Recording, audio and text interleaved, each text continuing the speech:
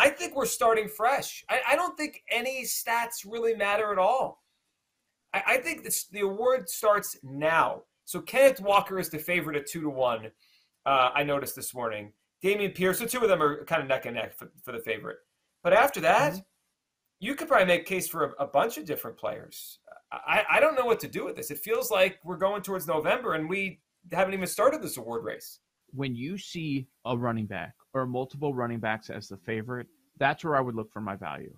And we could bring this over to comeback player. Unless you're betting on that Saquon's going to get injured at some point since he's such a heavy favorite for that award. And it already happened here with the offensive rookie. Now one running back went down. Will the next two go down? Walker and Pierce. And by the way, the four, the yeah fourth favorite is Brian Robinson. So this thing, you're right. Start over. It's completely wide open. Now, if Walker or Pierce play the full season, they continue to produce.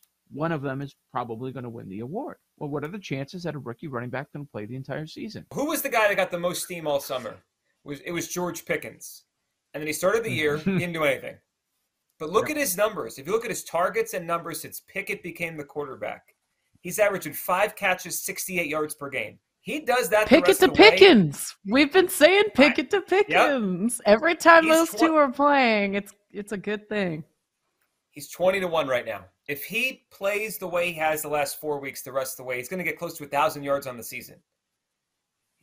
I, I think twenty to one is a pretty good number on George Pickens after not doing I anything just, for the first month. In a quarterback to receiver combination where they're both offensive rookies, how does the receiver get it over the quarterback?